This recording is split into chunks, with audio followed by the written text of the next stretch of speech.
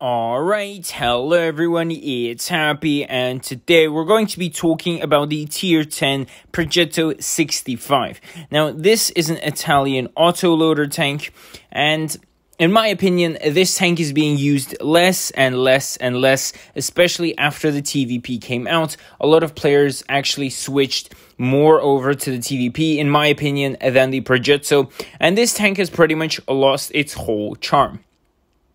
Now, the thing is, when the Progetto actually came out, it was very, very, very strong. And of course, Wargaming, as they always do, they nerfed the hell out of it. And players, especially pro, pro players, stopped using it in tournaments. And um, this is something Wargaming always does. They bring in a new, really, really strong tier 10 and then they nerf it without actually testing the tank uh, before release properly typical wargaming. They did that with a T100 LT, for example, the most recent one. And of course, the Progetto obviously fell out of the pro players' favor. Now, in regards to like average and normal players, again, the TVP, uh, after the uh, TVP came out, the Progetto became less and less used, at least in my opinion. Simply because the TVP was faster, it had a nicer gun, and in general, the drum was quite nice on that thing. The Progetto, on the other hand, it doesn't have the best gun handling as well as accuracy, of course, especially on the move. And on top of that, the uh, the speed is mediocre, of course, and the armor is non-existent, especially on the turret. The only place where the armor is actually really good is the upper plate, and sometimes even 152 millimeter guns will not be able to penetrate you under an angle.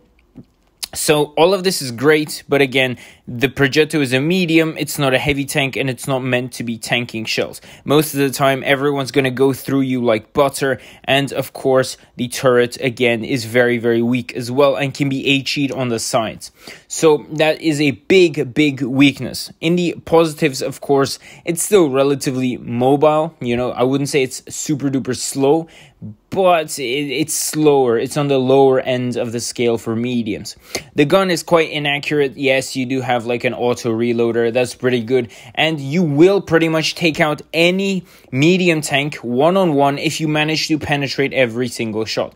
And if you heard me correct, I said penetrate every single shot. Because if you miss one or two or don't pen those, well, your DPM is going out the window. So this tank can only be good if you manage to hit all of your shots. And again, this is quite hard and not all the newer players can actually do that. So tell me what you guys think about this tank in the comment section below and why it fell out of the player base's favor. And I'll see you guys next time. Bye bye.